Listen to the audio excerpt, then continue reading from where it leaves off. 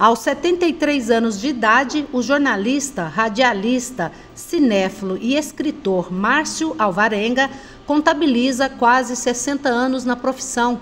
Só de Trocando em Miúdos são 37 anos. E ainda tem o programa A Música no Cinema, que também tem mais de 30 anos, ambos veiculados pela Rádio Universitária FM. Foi um grande desafio, né? Eu costumo dizer que eu acabei rompendo uma tradição na época do, do rádio em Uberlândia. Nesse horário das 11 da manhã, a programação predominante era esportiva e eu acabei investindo num outro tipo de programação. Começamos com entrevistas, depois, posteriormente, os quadros do programa e aí a gente foi crescendo. A história do Trocando em Miúdos, ela se mistura por completo com a história da própria Rádio Universitária FM. A rádio que completa agora em agosto 38 anos, tem um programa na sua grade que tem 37 anos, né?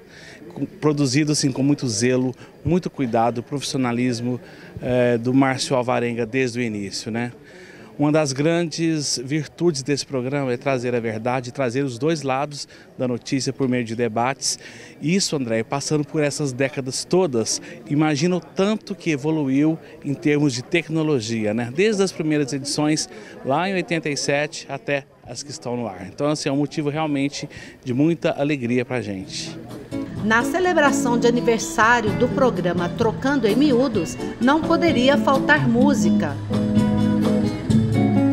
e amigos colaboradores que atuam junto com o jornalista em sua trajetória, como o professor do Instituto de Química da Universidade Estadual de Campinas, Luiz Carlos Dias, que aproveitou o evento para lançar o seu livro Não há mundo seguro sem ciência. Nós observamos depois da pandemia da Covid-19 que essa relação ela é cada vez mais importante né, no cenário nacional, no cenário internacional. É, nós precisamos fazer com que aquele conteúdo de alto nível de pesquisas, né, de desenvolvimento, de, de trabalhos relevantes é, para a sociedade chegue né, é, efetivamente para a sociedade, né, para é, todo o conjunto de pessoas da sociedade. A, a, Universidade Pública Brasileira está realizando trabalhos de altíssimo nível, publicando nas melhores revistas internacionais.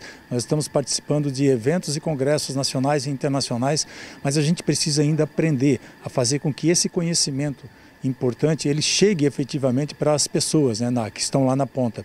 A gente precisa disso é, com o objetivo de ajudar a esclarecer a sociedade sobre as questões relativas à ciência. Né?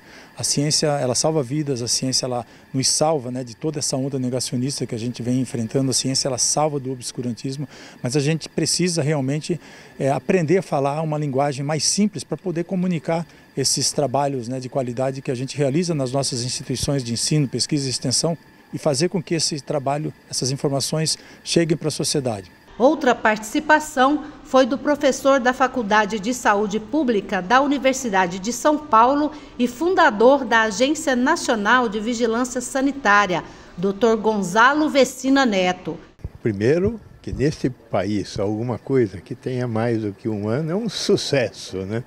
37 anos é fantástico. Está de parabéns o Márcio, está de parabéns a universidade por manter um programa com, essa, com esse objetivo, trocando em miúdos. Nós precisamos de muitas explicações para conseguir entender a complexidade da nossa realidade. E eu acho que é o que o Márcio faz. Eu participei já de alguns trocando em miúdos. Essa é a ideia, né? Aprender a entender o que está acontecendo. Porque se a gente não entende o que está acontecendo, a gente simplifica e aí só faz bobagem, né? como nós fizemos agora recentemente na pandemia, tomando é, cloroquina, tomando ivermectina. Por quê? Porque nós queríamos um milagre e não existe milagre. Tudo que o homem faz é fruto da vontade e da capacidade de fazer do homem. E para que ele consiga fazer, ele tem que entender.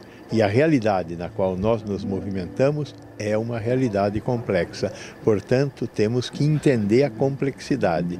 Trocando em miúdos, faz parte dessa, dessa história do entendimento da complexidade.